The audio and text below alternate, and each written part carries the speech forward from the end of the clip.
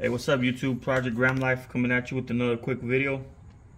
Uh, I searched up uh, videos to see if anybody, I couldn't come across that information that I needed. I've never done this, so I'm learning as I go. But for most of you, you guys might be aware of it. It might be simple, but for someone that just happens to be doing this job and doesn't know, this is the brand new brake line right here on the driver's side. So let me let me go ahead. This is the brake line right here. Zoom that out a little bit for you. Okay. This attaches to your caliper, but what I'm talking about is right here. How to remove this. Right there. Let me get a little bit more light up, up, up here for you guys. Right there. Let's see. This right here. How to remove this, okay? So if you're doing it for the first time, it's gonna be stuck. It's gonna be almost welded on there like like mine was. I didn't know. I just started going at it, and I I discovered that this has a tab right here. This has a tab. I'm gonna show you right here. So this is your brake line right here, the new one, and this tab has a tab. You're gonna pull this out, okay? And when you pull this out, that's gonna allow you this has a shape to it right here the the hose.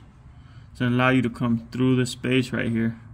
And you see this? This pin right here. It's gonna go slide through there and that locks it in place. So once again you're gonna go through here through the brake line and then gonna push this tab. And that's what holds this in place okay? And then you just tighten this like you normally would tighten righty tighty, lefty loosey, go to the right with it. But like I said, if, if the truck has been sprayed or it's been on there for a long time, this right here is gonna look like one piece. You're not even, not even. It's gonna be, it's gonna be pretty much stuck on there. And if you don't know that this has to come out, this tab for you to pull this hose, bring it down, you're gonna be struggling. So I just wanted to make that little video. Once again, down here on this tab, notorious for breaking but it's not a big deal. Um, I'll go ahead, get a little self tapper on there, and this just goes like this right here, like that. Let me see, like that. I'll just self tap onto that, and this is how she's looking over here. The other side, driver's side. Got the cotter pin, nut, everything in place. Wheel bearing. Has that little noise to it.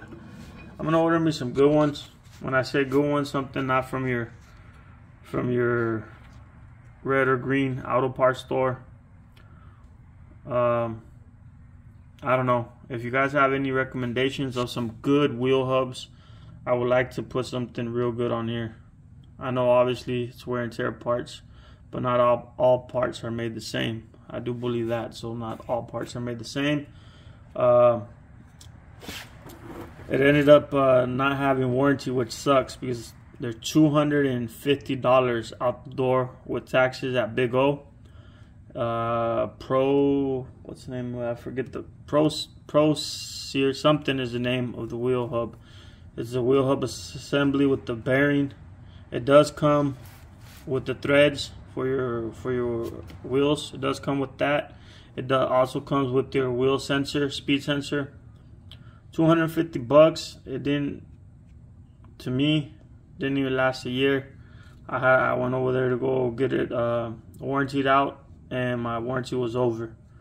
So for two hundred fifty dollars, I'd rather spend a couple couple hundred more and give me a good part that's gonna last because uh, gonna last me longer than a year because once you do it over and over, you get pretty good at. I'm pretty good at it now that I figured out how to disassemble this and and I I put anti-seize in all the right places. It comes off like a charm. It's not as hard, but still, it's not as easy as if this uh, rotor would stay on the axle. It is what it is. I could probably 30 minutes tops change brake pads, rotor, and everything if if if I didn't have to disassemble this right here. because you gotta remember you gotta hit all of these right here and then there's four in the back that uh that attach from the axle to this part right here. It's it's no big deal. Like I said if, if you've done it a couple times you, you know what I'm talking about. You you get to know the ins and outs and you'll be able to do it.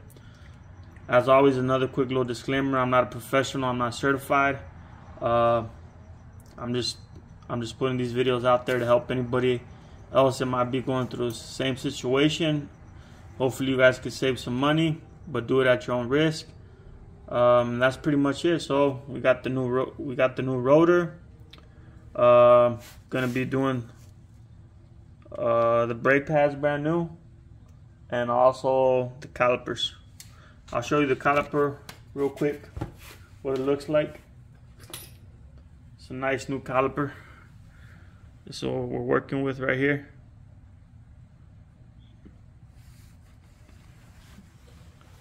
Let's see. Nothing special, nothing fancy. It is from Big O. They run you like 50 bucks. Hopefully it does the job, which it should. Um, let's see. With your ball and everything, bleeder valve. I already installed the left, uh, the passenger side yesterday. This is gonna be the driver's side. So it's just something to keep in mind. And also, just some uh, another little heads up, some advice. If anybody's wanting to, uh, when they remove this, go ahead and, and put some uh, grease up in that, where the speed sensor goes. Just put you some good grease, grease that wheel bearing, you know. You'll be surprised of how much grease I don't know. A lot of people have their own own uh, thoughts and opinions on that. Some say to do it, some say not to do it. I say, me, why not? It's a speed bearing. Uh, it's a sealed device, but if, if you already have everything disassembled and the, you, you take the speed set, sensor off with an Allen wrench, go ahead and, and lube it up. Make it go around and lube that, that thing up so it's nice and lube. So that's what we're that's what we're working with. Just wanted to share that with you guys. And this is Project Ram Life. I'm out. Have a blessed day.